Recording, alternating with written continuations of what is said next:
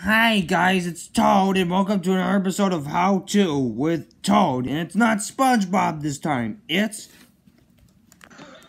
Bubbles! I'm Boboosh. Haha, my name's Boboosh. Hi, Boboosh. How are ya? I'm good. Uh, today we're gonna show you how to catch a unicorn. Oh, sounds fun. Let's do it. Sure, but you're gonna need to know the one step. What's that? I need you to listen straight. Okay, I'm listening. No, no, Toad. You need to listen. You need to listen now. Listen to what? What do I need to listen to? Music? What, music? No, no, not. It's not music either. No, it's not. Okay, let me, let me. I get your, I get you're confused. Well, let me try something.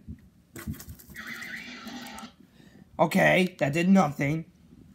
Okay, so step one for catching unicorn find a unicorn. Always believe in yourself. Yeah? Yeah, and you're gonna need to find a unicorn. Dogs know where they are, so get puppy dogs. Y yeah, it looks good, but it's gonna need a little work.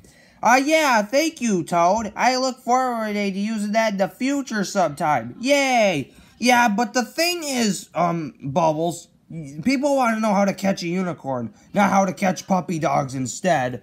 Oh yeah, that reminds me. Puppy dogs are unicorns instead. You're not explaining anything. Uh, I am. Okay, you are. Go ahead. I know you're trying to do something. Yeah, and then you're gonna need some cats. Kitty, it's Sylvester. I'm looking for for stuff. Be very, very quiet. I'm hunting unicorns. I hate to break it to you, Bubbles, but I think the unicorns are hunting you. Ah, that's ridiculous. Why would they do that?